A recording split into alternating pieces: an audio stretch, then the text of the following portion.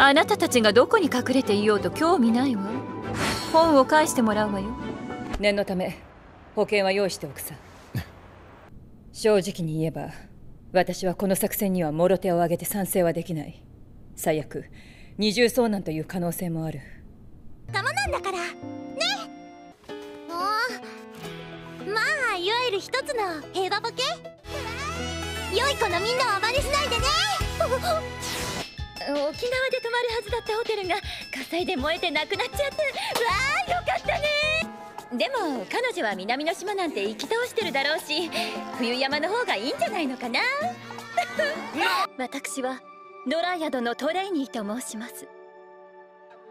どうぞお見知りおきください。リムル・テンペスト。魔物を滑る者よ。あなたに。おかえり秀樹。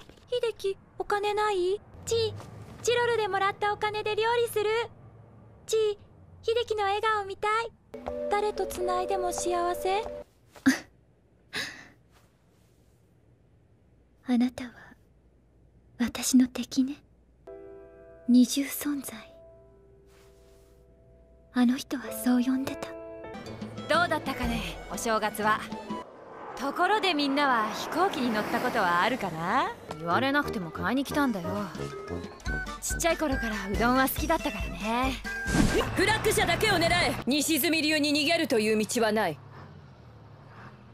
こうなったらここで決着をつけるしかないな。保健医の名前も知らんのか君は。鬼ヶ原みちるだ。ミオとは姉妹みたいなものでな。君の秘密は守る。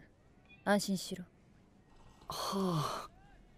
颯君は本当モテるタイプですわね。どうしたんですかこれ？さいね颯君わざわざ千春さんの部屋から。あのさすっかり遅く。可愛いお顔が台無しよ。これで準備万端。人間は夢と現実の区別ができなくなると。壊れちゃうらしいわよ